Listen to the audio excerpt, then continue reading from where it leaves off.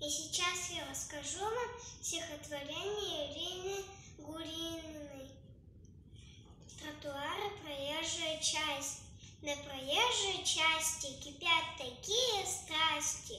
Трамваю самосвал гудит, сиреной скорая летит, Мопед торопится, рычит, автобус злится и фурчит, А мы идем не торопясь, машин